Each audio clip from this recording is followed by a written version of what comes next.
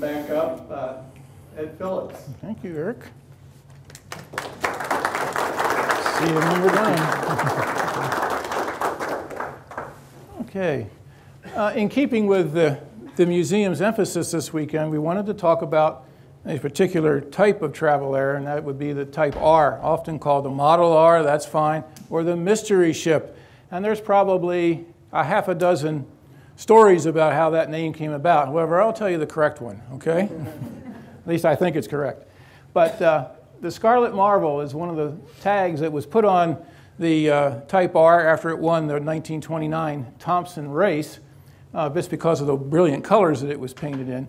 So I'm going to talk a little bit more detail about some of the technical aspects of these airplanes, the personalities that were involved, and what drove the Travel Air Company to do this to begin with. So as we go along, and then at the end we'll have another uh, Q&A. So this is a, a history of the famous Travel Air Type R monoplanes. And, and I could go on for 500 slides, but I haven't done that, so don't worry. All right, this we talked a little bit before. The golden age of air racing, basically, most scholars will agree, was between 1929 and 1939. 1939 when Hitler plunged the world into war, and uh, 1929, uh, of course, was at the height of the uh, aviation business success on the commercial side, especially the small airplane commercial side. So air racing was a very popular uh, public sport. People liked to go. They would pay good money to see air races. Even in the Depression, they would ante up four or five dollars for a ticket. That was a lot of money back then. You could buy what? Lots of bread, milk, and eggs with that, but they would go and see these pilots because a lot of the pilots today, or then, rather, were like the sports heroes of today you know, like the LeBron Jameses and others of that time. And people wanted to see them fly. They were not reckless. They were extremely well educated in what they were doing. They were brave, uh, and they, uh, they also knew uh, what the risks were. And sure, some of them were killed over a period of time, but uh, the majority of them that knew just, to, just where to push it and no farther. But in 1928, starting this off, 1928, Walter Beech uh, was well aware of the fact that the fastest airplanes on the air racing from 1921 all the way to 1928, the military, U.S. military, Army, Navy, always won the air races because they had what? All the government behind them, lots of money, big, powerful radial engines, and the best engineering in the world. So they had the top airplanes. It was hard for some of them from Wichita to compete with that. And Mr. Beech had the idea, he says, well, I think we can change that. Let's challenge these people. And so in 1928, he did that. Now, the fastest airplane on the Travel Air production line at that time was this one right here, the Type D4000, and in front of it is none other than Ted Wells. Now, Ted was from a wealthy family, attended Princeton back in New Jersey, was an early aeronautical engineering degree holder, came to Wichita, worked here as an intern for a couple of summers in 27, 28, and then he came on full time later on in 29. But he, uh, he bought this airplane in 1928 and raced very successfully with it. And his own airplane. And you notice, well, you can't really tell where you're at, but the ailerons on the top wing uh, tell me that this was a D4000. It was a speed wing, what Travel Air called a speed wing. And instead of having a fairly thick airfoil, it was very thin. So you had less lift, but you had good speed, low drag. And what was speed? Speed was everything. Walter Beech loves speed. Clyde Cessna loves speed. Everybody likes speed. Anyway, uh, so this airplane was capable of 150 miles an hour. That was fast for a travel air. Most of them were put, putting along at you know 95 to 110. This was a fast airplane. And uh, Ted Wells won some good money with this in local and regional air races here in the Midwest. But that was the fastest thing they had. So this man, Herbert Rawdon, did anybody in this room ever know Herb Rawdon? Personally. Yeah, great man, okay? A brilliant engineer.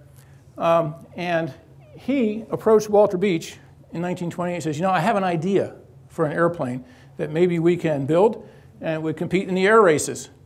No, it didn't take very long. Mr. Beech thought about that, gave it some serious thought because what was it going to do? It was going to take company money and resources and things like that. Said, do it, let's go. So he just kind of backed off. And Herb Rawdon uh, got started on this. So he's your chief designer of the Type R monoplane. With all respect to Ted Wells, and Ted Wells told me this, he had nothing to do with the Type R. Not a thing. Absolutely not.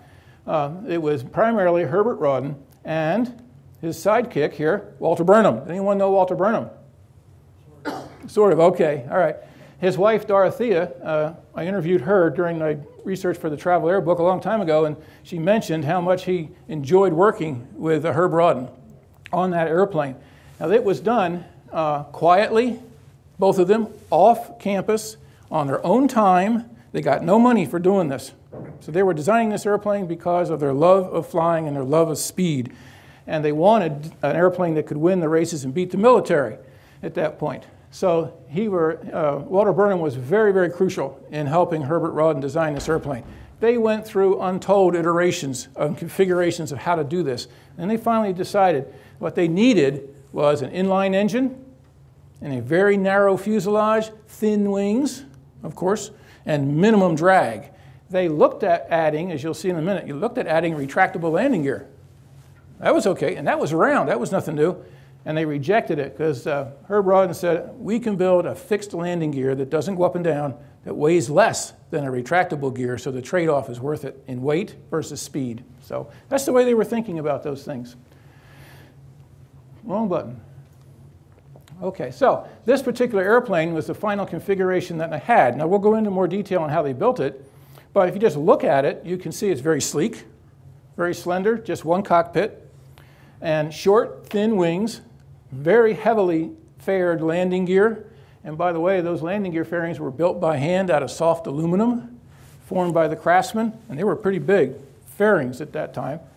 And you'll notice that there's a minimum of struts supporting, the, there's a couple of struts on the upper wing, and that's basically just a center section, and the outer wings were bolted on, and then they used steel wire to brace the wing, to take the loads.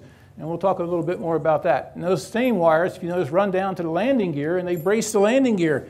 So the whole thing is like a box structure and very rigid. But for the time, that was a step forward in aeronautical design, no question about it.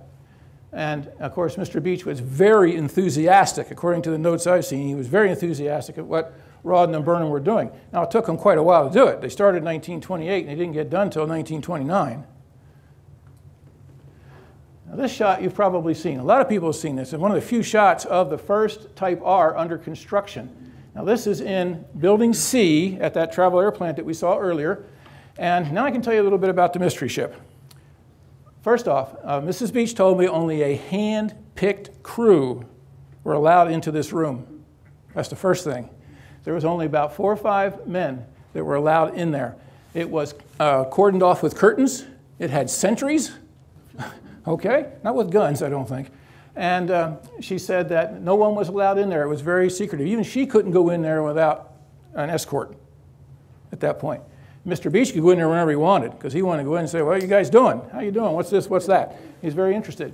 So you see what the structure is. It was not revolutionary. Instead, it's welded steel tube fuselage, wooden wings. But the cowling on the engine is, a, is actually a work of art. They took the cowling and they kind of sliced it into what looked like petals. And you notice they've been pulled together and welded. Okay, so there was a lot of sanding and things like that to that cowling. I want to mention that cowling added 20 miles per hour to the finished airplane. Okay, 20 miles per hour. Uh, you'll see a picture of it without the cowling because it wasn't fully done. But the National Air, um, the NACA rather, they had developed with Fred Weick a pressure cowling. And it was designed to cool the engine, but it would also increase the speed of the air through the cowling and increase the speed of the airplane. So that was made generally available by NACA by 1929. And Travel Air built one uh, of their own design based on those figures, based on the performance of it. The landing gear you can see a little bit better welded steel, just uh, tires, wheels, uh, mechanical brakes on that, and then the cockpit, just a seat and a stick. So this is early in the uh, manufacturing process. The airplane that you see behind it is that sister ship. That's number two, Type R, that was built that'll have the Chevrolair engine that was not a success. So this is a very uh, interesting shot. Early, this would be about midsummer of 1929. They were working on this thing almost 24 hours a day to get it done. Now, as far as the mystery ship is concerned, despite all this security, the Wichita Press got wind that Walter Beech was building a racing airplane. Now, that's all they knew. That was enough. so they came out to the factory, made inquiries, and nobody knew anything. I don't know what you're talking about. So Mr. Beech knew that would happen. What he did was he had all the windows frosted. Okay, so you can't see through them. Everybody knows what frosted windows like.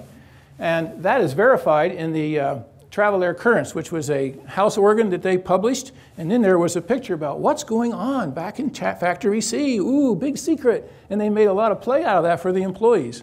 And all the windows had been frosted, the curtains were there, nobody was allowed to go near it. So the press came out, according to one report I read, and they uh, couldn't get anything out of uh, the front office, so they put some ladders up to try and see in. Well, the windows were frosted. See, Walter's got you beat before you get there. And so they said in the next issue I could find down here in the library, it said, Beech is building a mystery ship out at the factory, and the name stuck. And that's where it really came from, a mystery ship. So it's nothing wrong with that. It's a good name for it, actually. But uh, it was held in great secrecy. So the second airplane that was built, again, was uh, R2002. They had their own serial numbers, by the way, R2001, 2, 3, 4, 5. There was only five of them built. And this second one was registered R613 kilo and had the Chevrolair engine. Now the gentleman in the cockpit I got to mention, that's Clarence Clark. Did anyone ever know Clarence Clark here? I've got a feeling probably not. Okay, Clarence Clark was hired in 1926 by uh, Walter Beech to be a test pilot at Travel Air. He, uh, he had learned to fly uh, during the war, but he wasn't a military pilot. He was a very good pilot. He was very soft spoken. My wife and I interviewed him down in Bartlesville a number of times for the Travel Air book. He was very, very nice guy to talk to. Didn't draw attention to himself or anything, but he was the chief test pilot at Travel Air. And uh, he's in the cockpit there. He's just a young man in his early 20s. And he was strapping on these really powerful racing airplanes. He'd been flying OX-5 Jennies before he came to Travel Air, and he's been testing. Now he test flew, he test flew well over 600 airplanes during his time with Travel Air, and signed them off as okay for delivery. So he's, uh, he's flying this airplane, and I'll talk a little bit about more some of the comments he had on it a little later. So again, the factory where these airplanes were built is in the, in the lower left right there, next to that uh, outside heating building. You can see it. And that was all frosted away so you couldn't see anything. So that was the secretive part about it. Then, in August of 1929, here's the airplane, the first one, 614 kilo, with the 420 horsepower, specially built, supercharged Wright radial engine, an R975. And because of the fact that Curtiss Wright by now had absorbed Travel Air into its business, and Walter needed to get an engine. What they found out was that the Chevrolair, which is what Herb Rawdon originally wanted, was supposed to put out 400 horsepower. It couldn't even make 200. Not only that, but it burned more oil than gasoline. That didn't work too well. So uh, Rod said, we got to find something else. Mr. Beech went to work. He called Guy Vaughan, who was the president over at Wright, because they were all in the same company now. He said, we need an engine. Okay, I'm simplifying this. Okay, how much horsepower? I want 420 horsepower. I want supercharged. I want only one, only one like it in the world. Okay, we'll build it. They built it and sent it to them.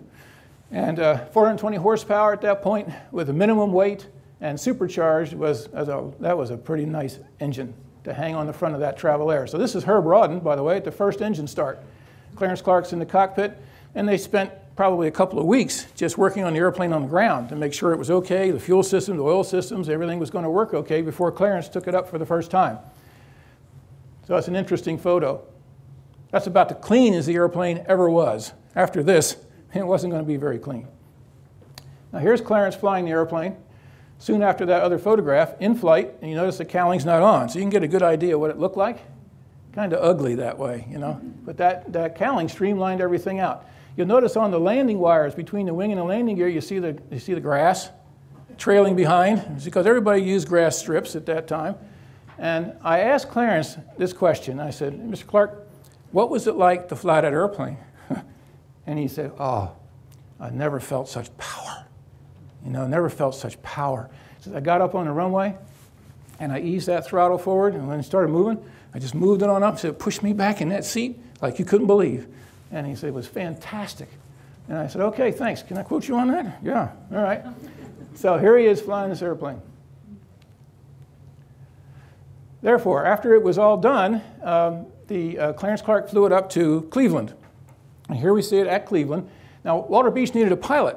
This was important. Clarence wasn't a race pilot, so he wasn't going to use him. He ended up using Doug Davis. He was a travel air dealer in Atlanta, Georgia, long time racing pilot. And since he had affiliation with Travel Air, he was the one uh, Walter hired to fly the airplane. He knew how to do pylon racing. Pylon racing was, yes, semi dangerous. You had to know what you were doing. But this airplane was built specifically to pull high G loads on pylons and go fast. So you say, well, how fast was it? Clarence told me that with the cowling on, he easily hit 230. No problem. Now, well, at that time, the military was up around those speeds too. But remember, who's got less drag? The biplane from the military or the Travel Air? Well, the Travel Air, clearly, and a whole lot less weight. This airplane, you know, was very low weight as well. So the power to weight ratio was fantastic, which is what Clarence kept talking about all the time. So um, in order to uh, in order to fly the airplane, you got Doug Davis to do that.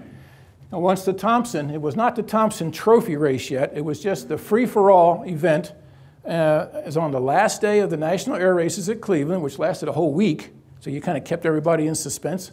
And you had the likes of uh, Roscoe Turner and other famous racing pilots who were there, all vying up against this, and the military. I'll show you what the military brought to Cleveland thinking, no problem, we're going to crush this travel air. There's not going to be any comp- competition for us at all. But Doug Davis was able to win, and I wanted to mention that first, and that shows you the Thompson Cup. And the next year it became the Thompson Trophy and continued on until the war started. And then it was picked up again after the war. Now you notice that Doug Davis always flew in a suit. Even when he flew the race, he flew in a suit. And you it's a little dirty though, you know, kind of dirty after getting out of that travel air. So, so after the race was over, this is a picture of the airplane, of course, before the race, but sitting there at Cleveland. And the press was just swarming. When Mr. Beech had the airplane, when he came in, he was already at Cleveland. Clarence Clark landed the airplane. Mr. Beech had it all set up. He had a hangar, and he just said, get it in there. And they taxied that in there, and they put a cover over top of it and closed the doors. This is just wonderful Walter Beech. This is Walter Beech to the, to the T. You know, build that excitement, that wow factor. And uh, so nobody could get to see it until it rolled out on that seventh day of the races to do the uh, Thompson free for all. So, again, a very attractive airplane. You can see how thin the wings are at that point. Here's the competition. Now, look at the difference.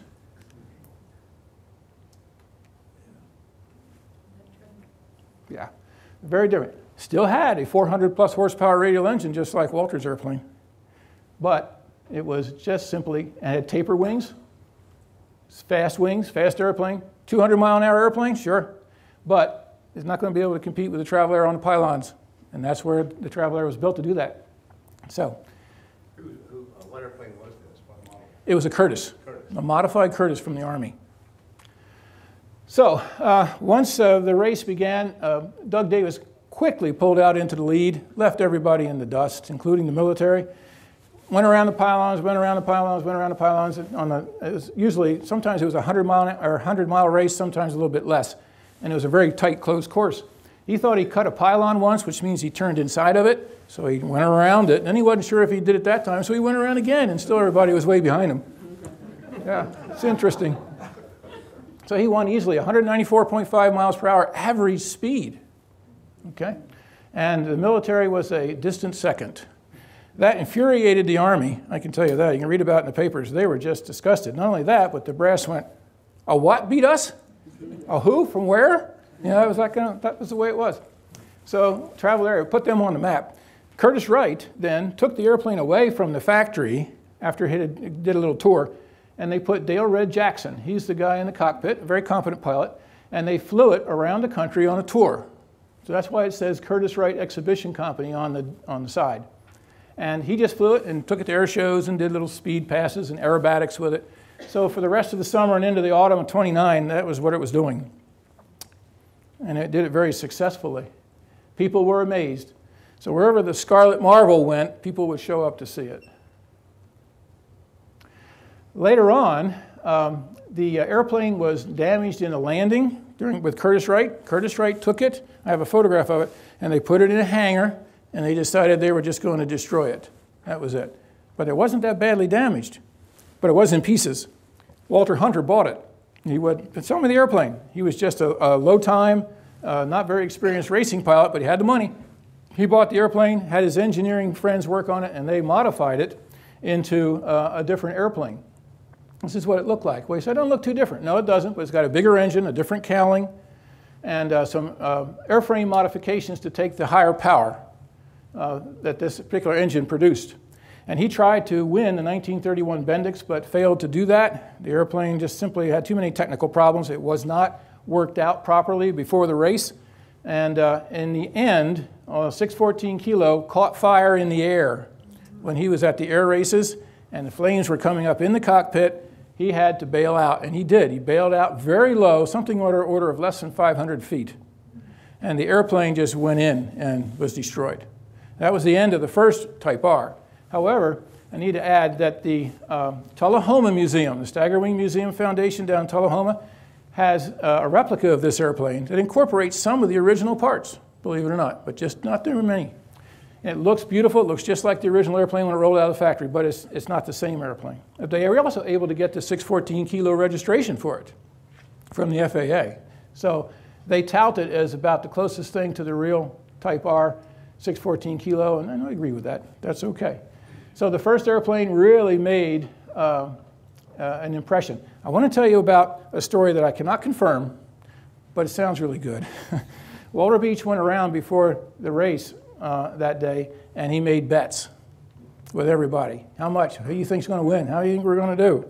He took a lot of money, thousands of dollars, and that's how confident he was in the airplane. Well, it easily won, and of course those other guys paid up. Now, what did he do with the money? He shared it with the people at Travel Air. He didn't keep it. Let's talk a little bit about the poor poster child here. 613 kilo with a Chevrolet engine. How many of you drive Chevrolets? One? That's all? Even I drive a Chevrolet. Okay, all right. 613 kilo, it, at the air races, it performed very poorly. The engine would not produce power. It was uh, blowing smoke out the exhaust and everything else. Clarence Clark tried to fly it, and he told Mr. Beech, this thing is just not going to cut it. So Mr. Beech had it withdrawn. They didn't want any bad PR. So they dismantled it, put it in a railroad car, sent it back here. And they said, we'll deal with it when we get back after the races. So that uh, airplane did not last very long with that engine in that original configuration. What they decided to do was rebuild it and put a Wright engine on, a Wright radial engine, which they did, a J67, 240 horsepower, not as powerful as the original Type R, but uh, other than that, identical to it, essentially, but not without a cowling. And when Pancho Barnes, who was a very flamboyant pilot in California, um, lady pilot, when she heard about it, she went to uh, Travel Air and she approached Olive Ann Mellor about that and was able to talk to Mr. Beech. She says, I want to buy the airplane. Now, she was not uh, a, easy person to deal with. She was she had a strong personality, um, but she was a very confident pilot. They sold her the airplane in that configuration right there. And this is a picture of her after the cowling was added. She made a number of speed attempts with this airplane, but its most famous role was in a Howard Hughes film called Hell's Angels. Anybody ever heard of that? This airplane provided the second version of the film. Remember, he made one that was silent. And then when the sound technology came, he goes, I can't release a silent film. They shot the whole movie over again. But all the passes that you hear with the machine guns going are this airplane and that Wright radial engine. She flew past the microphones out in LA, exactly the way that uh, Hughes people told her to do that. So it has some claim to fame. Now, in the 1940s, uh, the 50s, the airplane looked like this. It was owned by Paul Mantz, who was a very famous pilot. Um, if you ever saw Flight of the Phoenix, uh, that movie, he was the one who flew that odd looking airplane, which unfortunately during the movie it crashed and he was killed. But he was an excellent pilot and very careful about his risks, but that airplane was not good. But anyway, he modified this airplane a number of times. And since then, it changed hands a number of times. And now it is, uh, to the best of my knowledge, although it's kept quiet, is still in England. It was rebuilt in England, sent over to England, and someone whose name we will never know because they don't want it known has paid a lot of money to have some British craftsmen rebuild this airplane. Now, whether it'll ever come back here or not, I don't know. I'm still got my ear to the ground. about it. But uh, it would look fabulous when it's done. Incidentally, there's probably a dozen replicas of these airplanes that are flying that are just built from plans um, that were done. And, and they're great representations because they're modern airplanes and they look like the Type Rs, but they're very safe, different type of airplane underneath. The next one, R2003, was uh, built to the specifications of James Harold Doolittle. I think we all know who Doolittle from the famous Doolittle raid in 1942. Jimmy Doolittle was an ace pilot, uh, good air racing pilot also. And in 1930, Shell Oil Company, he convinced them to get one of these airplanes so they could do good public relations with it. Because what did Shell do? They're in the oil business, and they wanted to produce and uh, promote their aviation fuels. So they used this airplane to do that. It was registered NR482 to the Shell Oil Company in 1930. Doolittle came to Travel Air, spent some time here. He had a long list. I've got the list of all the modifications he wanted done to the original airplane design, which is incorporated in here. Again, a powerful uh, 400 horsepower plus Wright radial engine, same cowling. Looks a lot alike, but it's got a lot of special equipment in there for Shell that doesn't show. Here's a little view of the airplane as it was being built. And you can see the landing gear a little bit better in the engine. That's plywood on the fuselage with tape. And the fuel tanks are right here between these two uh, struts. You can see the aluminum tank up there. The shock absorbers on the landing gear, which were oil and springs working together. So it's a, again, this wasn't a secret anymore, but there was just one crew that built all five of those airplanes because they had the experience. They, they were there from day one building the Type Rs. I like this shot because this shows the airplane after Clarence Clark, who was crawling out of the cockpit, made the first test flight. And the engine's still running, just throttled back, and he gets out, and that's James H. Doolittle there in the parachute, standing on the ground, about to get in and go ring it out, as he said. And I wrote to Mr., or I should say General Doolittle, and fortunately he was kind enough to write back to me several times, and I sent him a book and I asked him about some things. And uh, he said this was a marvelous airplane to fly. As soon as I got in, he said, and took off, I said, man, this is good. This is designed right. You could tell. And he wasn't necessarily going to race it, but he was going to use it to promote those fuels and do cross country flights and things like that because he was a spokesman also for uh, Shell. So he liked the airplane a lot. His uh, associate there at Shell was uh, James Haizlip, who was also a well known pilot air racing pilot. He is the one who mainly flew it at some of the races. Doolittle didn't always have time to do that, so Jimmy Doolittle, or excuse me, Jimmy Haizlip was assigned the airplane and uh, competed at different races. So it didn't change much in configuration there, but he's uh, holding on to a trophy that he won with the airplane. So it was still winning races. It was still kind of up in the headlines around the country. And this is a shot that's a little dark that uh, Mr. Haizlip sent me that shows him at the 1930 National Air Races. This is one year after the Scarlet Marvel and Doug Davis won. Um, and the, uh, the airplane was entered into the uh, Thompson Trophy race, which is what it was called by then. Now you notice it's got a little canopy on it that didn't have before, and there's a great big basketball-sized hole in there. I'm not going to ask you what that was for, I'll just tell you. Haizlip said the pyralin that they used back then was not real clear. And he said, for me to sight the pylons when I'm coming in to make a turn, I just punched a hole in it, you know, before the race. So I could stick my head out and see where the pylon was. So that's exactly why that's got a hole in it.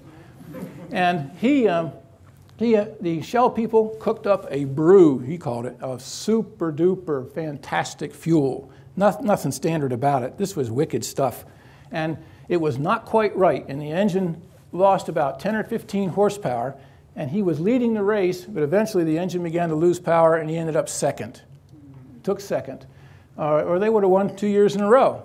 However, guess who beat them? Matty Laird.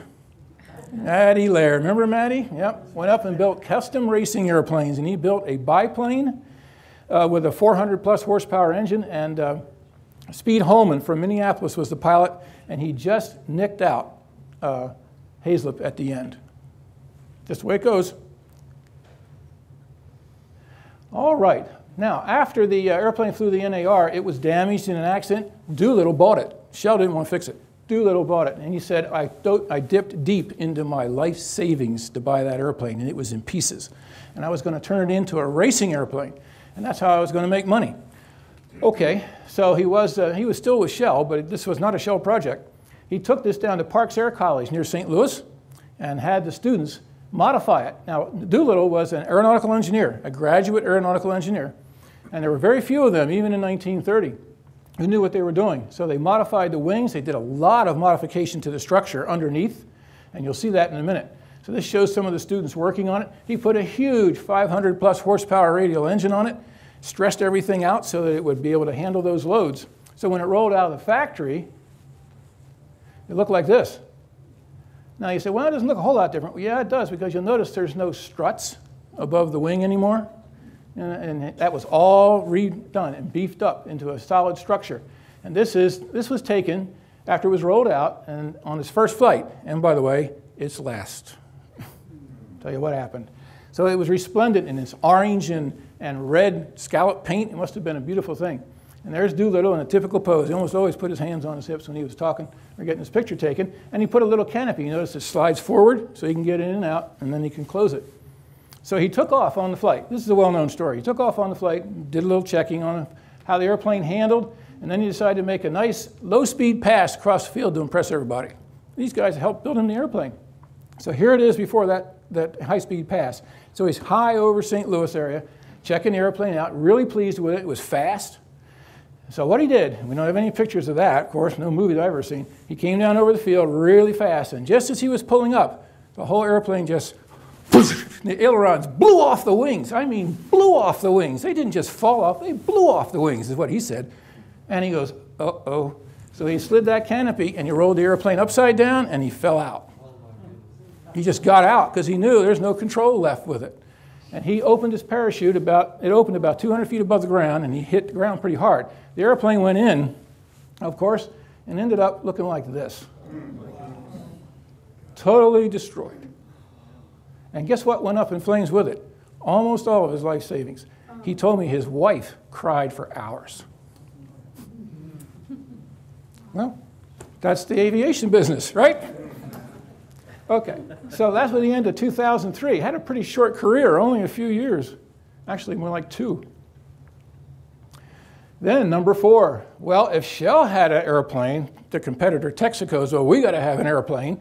So they send Frank Hawks out to, Calif- to uh, Wichita with a long list of modifications, and they want our 2004 built to those specifications. And Frank Hawks was a well known pilot by then, had a number of cross country, uh, cross continental records to his credit, and was very well known. And he was also one of those pilots who could talk to the press, did a really good job with the press. He was a good talking head. And I mentioned, he understood airplanes, he understood structure, he understood performance, he understood risk, and how to balance those out. So this airplane also has a 400 plus horsepower Wright radial engine. Um, not too many modifications, but except you'll notice right behind the cockpit there's more of a hump. This is what I call the infamous hump. There's been more debate between scholars as to why the hump was there.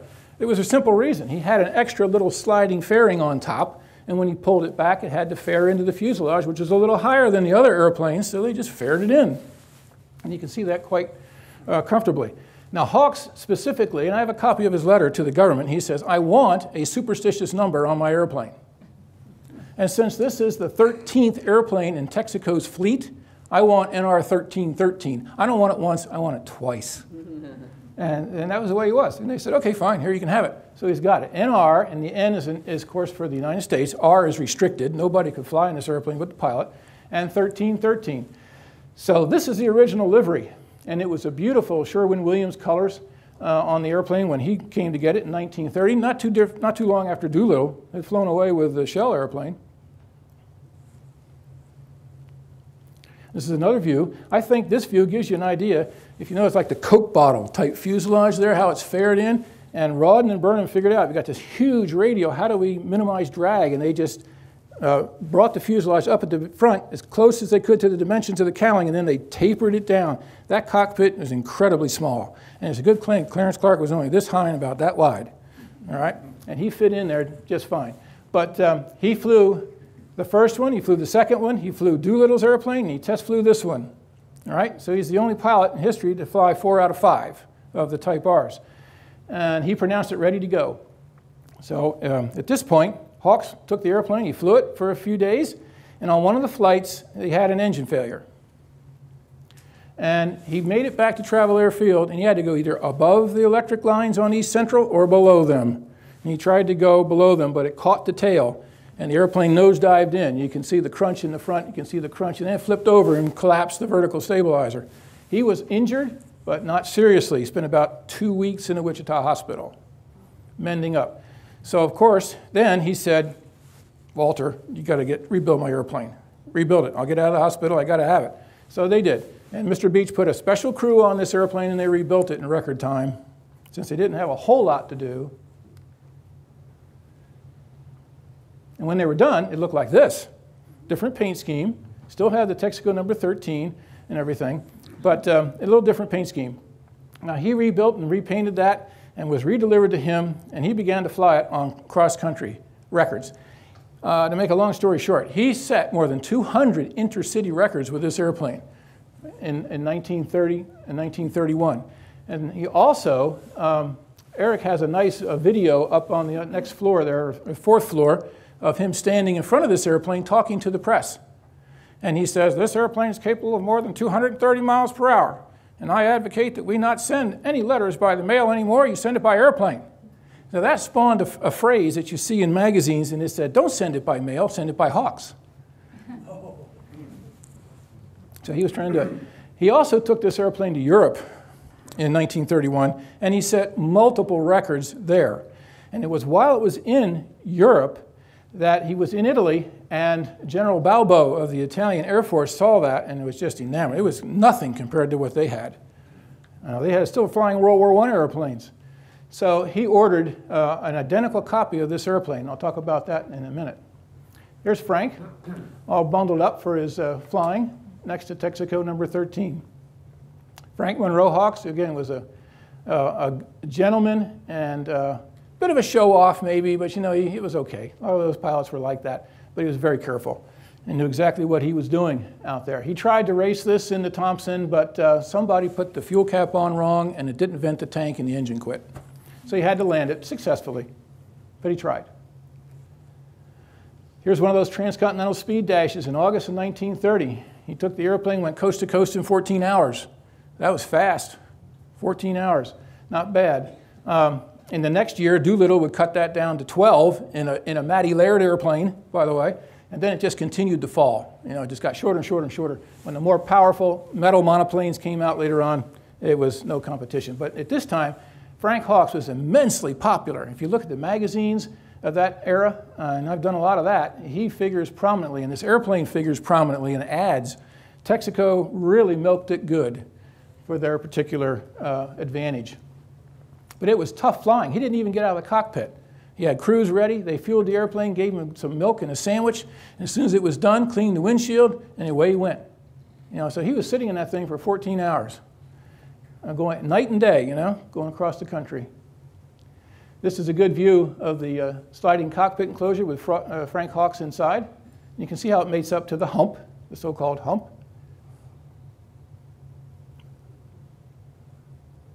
And they called him the King of Speed. And in Europe, he was widely feted because the airplane was fast. And this is taken in Europe. Uh, it's either France or England. I believe it's England, if I remember the slide correctly. And you can see, uh, I believe that's a Klemm in the background, which was a, a, German airplane. But he flew this all up and down Europe, and they were just amazed at the speed. And they had nothing to even remotely compare to it. However, the airplane's end came in April 1932 when Hawks was taking off uh, at a field he was familiar with, and it was just a little bit late getting off, and the landing gear caught on a barbed wire fence. And that just flipped it over. He was seriously injured this time, spent a long time recovering. And you can see the airplane is uh, badly damaged. So it was beyond what you would call economical repair, is the term they used. So the airplane was rebuilt but it was basically gutted down to a shell. And if you ever go to Chicago, you can see it hanging in the Science and Industry Museum. I think the name kind of changes from time to time, but that's what it was when I did this. So there it is. So it's all rebuilt, uh, but there's nothing inside uh, at all. So at least we've got the airplane to remember. So that's the only, the only real Type R that exists. All the rest are replicas. So even though it's gutted and is hanging up in the air, at least you can see it. So what happened next? As I said, General Balbo wanted an identical copy. Look at this, even the paint scheme, right down to the paint scheme. So R2005, the last airplane built, by the way, the, the Travel Air Factory was almost closed by that time. Newman and Truman Wadlow, the twins, told me in interviews they worked on this airplane and did some flight testing on it, and there was almost nobody around. The buildings were almost all locked up. It was just something they had to finish in order to deliver it and get some money for Curtiss Wright. And Walter Beech came up and checked on their progress occasionally from St. Louis. And uh, he wanted to get Clarence Clark back because Clarence had left the company and gone to Phillips Petroleum in Bartlesville to fly for them. Clarence said, No, I'm not coming back. I got a good job. I can't got time. So he said, Okay, Newman and Truman, you fly this airplane and get it straightened out. We got to deliver it. The Italian lieutenant was on site at the time, and uh, he just loved the airplane, uh, but they had to get it delivered. So MM 185 is what the Italians called it. It has nothing to do with Travel Air. But again, you can see the identical paint scheme to Frank Hawk's, even down to the little sliding canopy on top. Okay. That was the Regia Aeronautica in August of 1931. What they did with it, uh, when they got it, this is a picture of Newman test flying the airplane here at the Travel Airplane. What they did, they just used it to copy things, you know, new technology. How did they do this? Let's see if we can replicate that. They did a lot of speed tests with it. They did a lot of, they thought about turning it into a fighter. They said, hey, this is a good fighter platform. No more biplanes, we can do it. Well, that doesn't work too well when you try to make a racing airplane into a fighter. It doesn't turn out good. And it didn't. But uh, nevertheless, I remember when I was talking to Newman, he said I used to have to crank the seat way up he wasn't very tall. So he could crank it way up so he could see where he was going when he was taxiing. And then when he was ready to take off, he'd crank it way down, you know, and then slide that little canopy up. So that was an interesting story. But he was only in his early 20s, and he's got a hold of this, one of the fastest airplanes in the world. I mean, that must have, it was a thrill for them.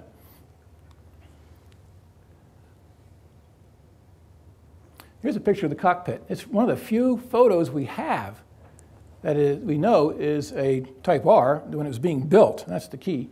And there's a number of things there that you can see. Uh, in the upper uh, left side of, the instrument panel is a slide rule. For what? Time, fuel, distance calculations. Those guys knew how to do that. They would just sit there and make those slides during the flight and figure out what they were doing.